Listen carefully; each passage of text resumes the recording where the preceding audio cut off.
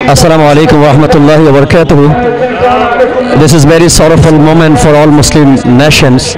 Today I would like to say all of the Muslim countries of the world just boycott the product of Is- Israel because they are they are our sister, our brother.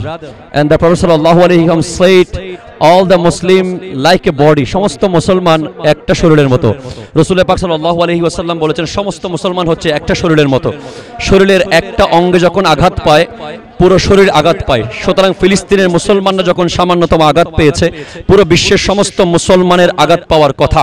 আমি আজকে Saudi আরব সহ বিশ্বের সমস্ত বড় বড় ক্ষমতাধর মুসলিম কান্ট্রিকে I would like to request all of the powerful Muslim country of the world দৃষ্টি আকর্ষণ করছি। Please please stand by Palestine now this is the high time to stand by Palestine ফিলিস্তিনের পাশে দাঁড়ানোর এটাই হচ্ছে সর্বোচ্চ সময়। আজকে ফিলিস্তিনিরা অকাতরে কান্না করবে তাদের রক্ত ঝরবে আর আমরা ঈদের আনন্দ করব এটা কখনো মেনে নেওয়া যায় না।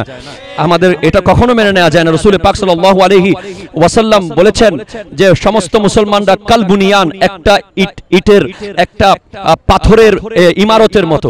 একটা ইট যেভাবে আরেকটা ইটকে ধরে রেখে, একটা ইমারতকে দাঁড় করিয়ে রাখে, পুরো বিশ্বের সমস্ত মুসলমানরা একসাথে একে অপরকে ধরে রেখে, আমরা এখন আর ভেদাভেদ করার সুযোগ নেই, সময় নেই।